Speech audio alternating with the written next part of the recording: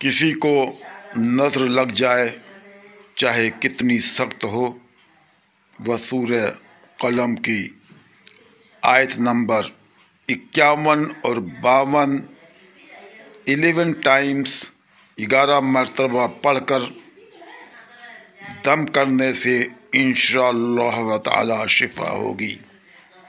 If someone has the evil eye one should read this ayat number surah qalam ayat number 51 and bawan 51 and 52 11 times and should be blown on the person.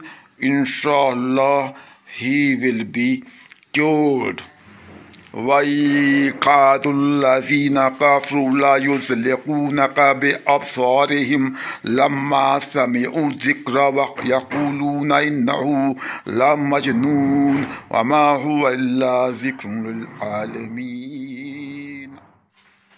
کسی کو نظر لگ جائے، چاہے کتنی سخت ہو، وہ سورہ قلم کی آیت نمبر اکیاون اور باون، الیون ٹائمز گیارہ مرتبہ پڑھ کر دم کرنے سے انشاءاللہ و تعالی شفا ہوگی۔ If someone has the evil eye one should read this ayat number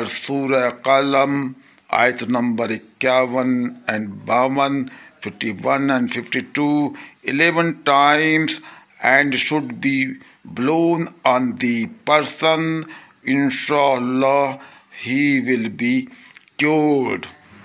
وَيْقَاتُ الَّذِينَ كَفْرُوا لَا يُزْلِقُونَكَ بِأَبْصَارِهِمْ لَمَّا سَمِعُوا الذِّكْرَ وَيَقُولُونَ إِنَّهُ لَمَجْنُونٌ وَمَا هُوَ إِلَّا ذِكْرٌ لِلْعَالَمِينَ.